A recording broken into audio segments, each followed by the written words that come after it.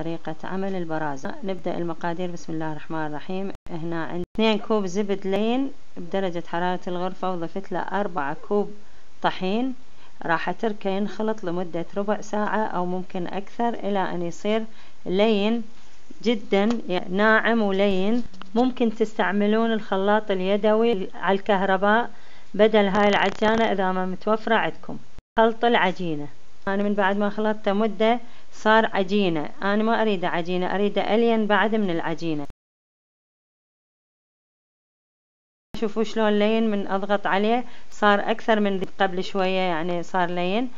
هنا ضفت له واحد ونص ملعقة شاي فانيلا. هنا راح أتركه ينخلط ويصير وقت تقريبا ربع ساعة أنا خلطته ويصير بهالصورة لين. وبعدين راح أعجنه. واحد كوب ماء بارد طبيعي يعني وضفت له واحد كوب سكر وربع كوب شيرة قطر شيرة. وإذا ما تعرفون أنا مقدمة هواي فيديوهات مال الحلويات بها طريقة عمل الشيرة. هاي العجينة اللي حضرناها ضفتها لهذا السائل اللي سويته وراح أخلطها زين.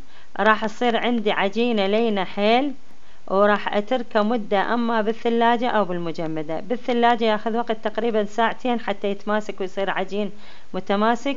أو بث أو بالمجمدة ياخذ وقت من 30 إلى 45 دقيقة حتى يصير عجينة متماسكة اثنين كوب سمسم محمص ونصف كوب سكر ربع كوب شيرة. وخلطتها زين. وضفت له واحد ملعقة شاي مي ورد أو مي زهر أو مي عادي. حتى يتفتت ما يصير قطعة واحدة السمسم. هاي العجينة ما راح نضيف لها baking powder أو صودا أو غير شيء. فتصير هشة بهالطريقة. من بعد ما تماسكت وصارت عجينة طبيعية بالبرودة أخذت منها قطع ولكلكتها سويتها على شكل كرات. هنا عندي فستق حلبي وإذا ما عندكم فستق حلبي ممكن تغلفوه. بالسمسم من الجهتين يعني, أنا قسم بالفستق وقسم كله بالسمسم.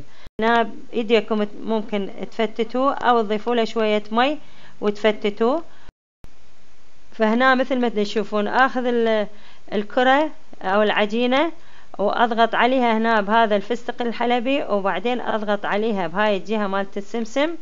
وأخليها على ورق الزبدة أو ممكن إذا ما متوفر ورق الزبدة ممكن تدهنون الصينية وتخلوها. هنا راح أخليها بالفرن على درجة حرارة 180 من الأعلى ومن الأسفل وتأخذ وقت تقريبا ربع ساعة وأقدمة. ممكن نقدمه ويا الشاي ويا العصائر بالمناسبات.